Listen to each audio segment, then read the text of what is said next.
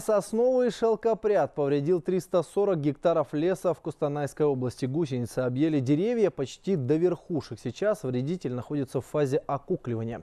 Специалисты принимают меры по защите леса. Позволит ли это избежать нашествия шелкопряда в следующем году, попыталась выяснить моя коллега Наталья Строкова.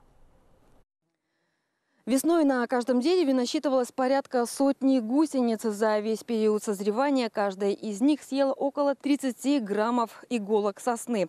Сейчас шелкопряд наелся и готовится превратиться в бабочку.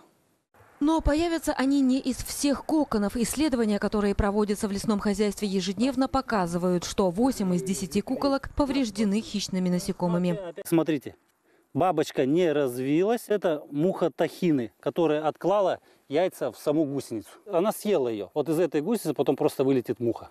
Каждая бабочка, которой все же удастся выжить, отложит до 450 яиц. В лесу к этому готовятся. Огораживают муравейники и привлекают птиц. Химической обработки очага, где поселился шелкопряд, не планируется. Почему? Потому что там еще не превышен порог экономической вредоносности, то есть они не настолько размножились, чтобы э, погубить этот лес. Этот очаг, он не критичен для соснового насаждения.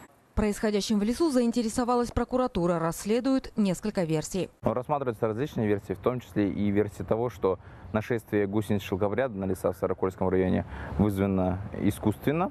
Делается это якобы для дальнейшего спила деревьев.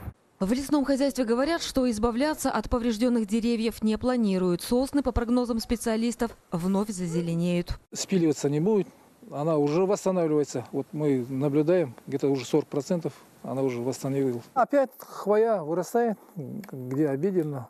В числе основных причин, которые спровоцировали массовое появление шелкопряда, лесники называют погодные условия. Они же сейчас помогают избавляться от вредителя. Наталья Строкова, Ермек Мухамедьяров, Кустанайская область, Хабар 24.